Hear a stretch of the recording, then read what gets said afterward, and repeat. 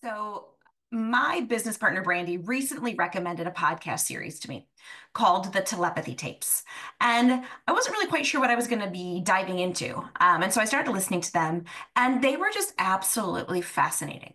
So, for those of you who have yet to um, listen to the telepathy tapes or go into that, I encourage you to because i am going to talk over a couple of videos here about you know some observations or some connections and some dots dot connecting I've done from listening to the telepathy telepathy tapes and just what I've learned about things like morphogenetic fields, which I'm going to go into. And so, just as a brief summary, the telepathy tapes were recorded by, or I would say produced by, a woman named Ky, who became fascinated with this idea that there were um, instances where nonverbal autistic children were able to read people's minds. They're either their moms or their caretakers or their teachers.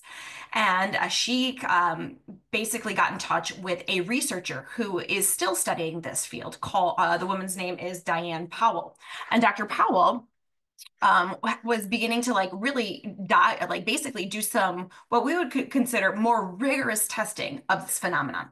And what I love about the telepathy tapes is because a lot of people I think are skeptic about telepathy, uh, which is fine. You have every right to be skeptical. Um, but what this what this researcher was doing, and what what both Ky and Diane were really trying to ensure through their observations and their testing of these nonverbal autistic children and their um, possibilities of telepathy was that they really controlled the environment, right? They made certain that there were no uh, no mirrors, there were no microphones. They really laid out uh, very extensively how much they did in order to ensure that the results from the, these telepathy tests were not happening due to some form of fraud. And so they even brought skeptics into the uh, the recordings. You know, for example, the so one of the individuals who was doing the actual videotapes of the telepathy tape, so was recording the sessions, was in fact a self-proclaimed skeptic. And I say was because he has since realized, oh my goodness, there is something going on here. And so basically, the telepathy tapes have a series of tests all over the country, you know, from uh, let's say New Jersey to Georgia. There was an individual in Mexico, right? So all over the world, even they talked about uh, various um, uh, instances of telepathy in in nonverbal autistic children and now grown adults as well, nonverbal adults in the UK. I mean, so this is happening all over. And uh, they really did a good job just kind of like visiting each of these locations and running these children, you know, with their, like these, these children were enjoying this, you know, made sure that it was okay with them, running them through a series of tests to basically show, yes, I can read my mom's brain. Or yes, you know, you can rearrange those cards in any order and I can tell you what they are. Or you can use a random number generator and generate a five digit number and I can tell you what number you generated. So these are these were just fascinating. You know, I, I, love this because what this does is it gets us out of the concept of we are only our physical bodies. And over the course of the past, you know, I would say three years or so, my my interest has gone from the physical body, which I love. I still think we need to tend to our physical bodies, which is why I talk extensively about light and circadian rhythm. It's why I talk extensively about the water inside of our bodies. And it's why I also still talk extensively about mitochondria.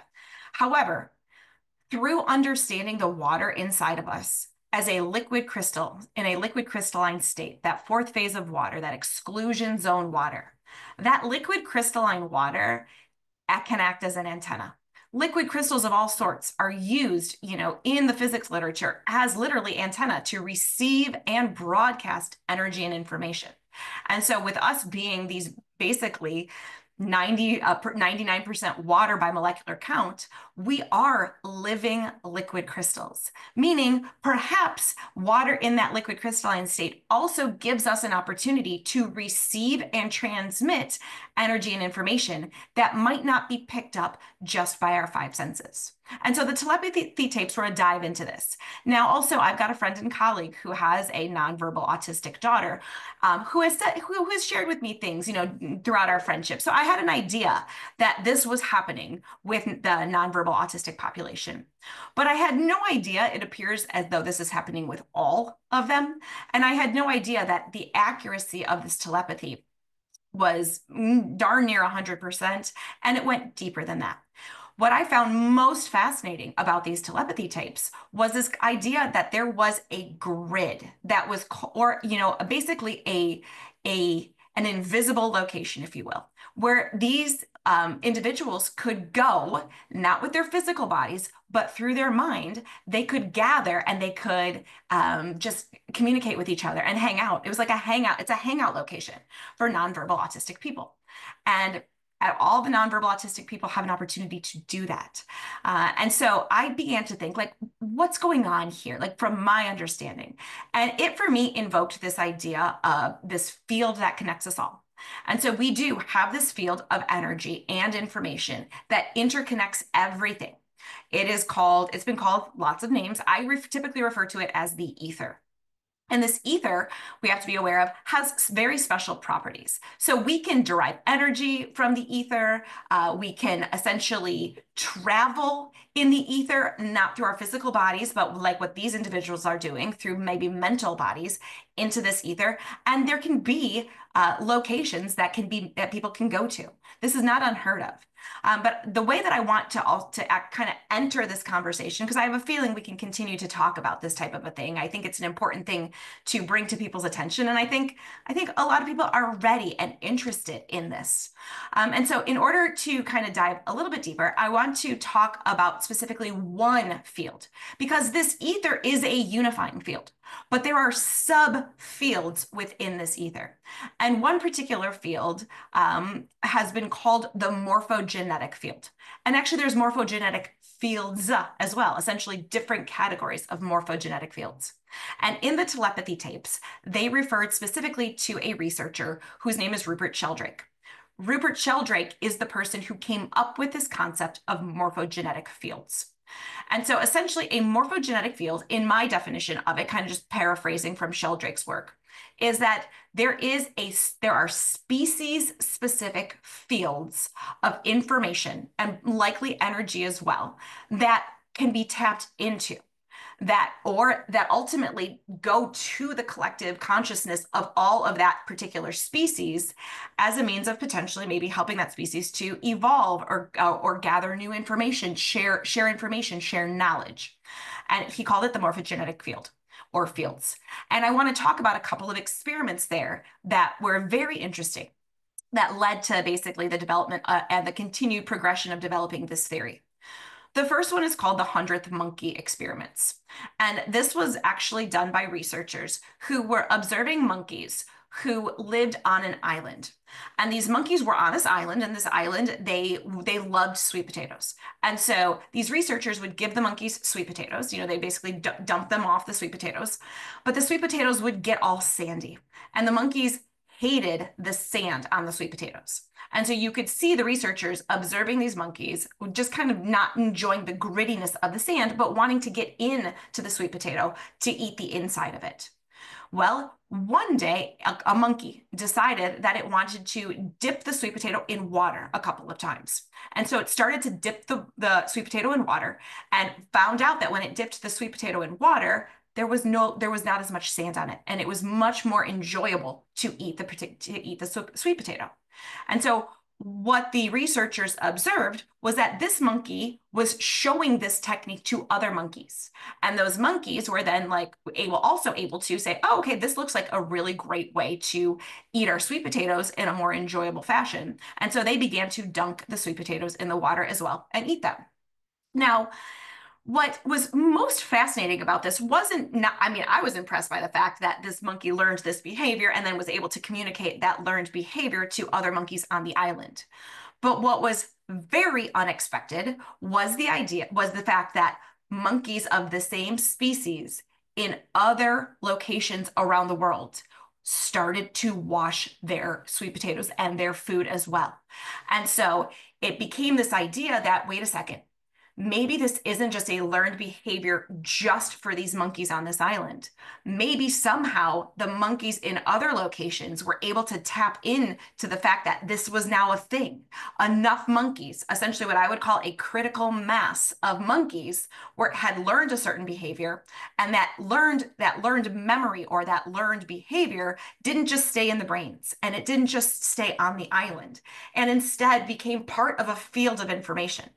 And monkeys around the world were then able to tap in to that field of information and make this just a natural behavior for them as well. And it wasn't just then monkeys, like what's even interesting is you'll see similar stories about different species as well who let's say um, there was a there was a species and uh, there was a species uh, and i'm drawing a blank on whether it was a fox or whether it was a um, it, it, it, whether it was a bird. I'm drawing a blank on the exact species. But what was fascinating about this was that this particular species, um, pr prior to I think it was World War One, they started to realize that oh look, we have these. Um, the milkman puts the milk out on the stoop, so uh, I want to make sure that I'm there at the stoop, ready to steal the milk before the owner of the milk actually goes out and gets it. And so these monk these these these creatures were actually stealing the milk and found that that was an easier way for them to get nourishment. So they were able to essentially steal a bunch of milk from off of people's uh, front porches in order to nourish themselves. So it was a cool, again, a very cool thing, right? These these animals observed the fact that milk was put out on the stoop at the same time each week, or maybe each day, and they were able then to take advantage of it by taking it and then using it for their nourishment. Now, fast forward, there was a war and a war that lasted longer than the lifespan of these particular creatures. And milk delivery stopped during the war. So essentially, when the war was over and milk delivery started back up, this there were no creatures who were living who had experienced that learned behavior. It was all of their offspring. Uh, none of them had ever been exposed to that milk delivery before. However, what blew researchers' minds was the fact that these animals still had that learned behavior. And as soon as the milk started being delivered and put on these porches, they began to steal the milk in the same way that their ancestors had that were maybe a few few generations earlier. And so again, things that make you go, "Hmm, what's going on here? Is there more to my memories? Is there more to when I'm learning something new? Does it just become my skill or am I somehow contributing to the betterment of humanity?" Now, additionally, this is done in, there are some uh, studies that were done in mice. And let's say these were mice that were separated, say, from the distance of Australia and the UK. Um, so let's say mice in the UK were given a specific maze, basically a maze test. And mice were timed with this maze test to see how quickly it took them to complete the maze. And the first group of mice to do this took them a long time. It was a new maze that they were presented with. And so what they what researchers found was that okay, well, actually uh, they as they practice it, of course, they start to get better. And so the first time through, it's tough. But with practice, they start to do better, do better, do better because they understand what to do to get through the maze. But what was very fascinating was when new, was when brand new mice in Australia were given that exact same maze. They ran through that maze as if they had practiced it just as the UK ones had done. They had taken a long, you know, they took a long time at first, but eventually they became more efficient. These ones in Australia were efficient right away. So again, this is an entry point, a starting point, maybe to a conversation about when I think thoughts, are they my thoughts only? When I learn new skills, are they just my skills? So do my words and behaviors matter more than it's, oh, it's just me. It's just affecting me. And just through my learning and my observations, I realize now that my thoughts and my words, of course, matter to me. My actions, of course, matter to me, but they're also contributing to a greater field of information that I think is also impactful to other people. And so, again, this is just something that we can start talking about. But I want you to think about how, with all of these experiments that were done and this concept of this morphogenetic field, what might be at play here? Is there, in fact, a species specific field of information that can be tapped into? Is this are there fields of information and energy that could be tapped into for these individuals who can who possess the gift of telepathy who are able to essentially then also not stay in their brains but yeah, keep their thoughts in their brains but essentially use their energy to travel outside of their physical bodies in order to communicate and hang out I absolutely think it's true. I absolutely think that this is a possibility. I, in fact, think that this is a possibility that people can maybe coach into themselves. Um, but these individuals just have, have this as a beautiful gift. and basically telepathy as the purest form of communication that exists. So I'll end the video here. Uh, I'd be curious your thoughts and we'll talk next time.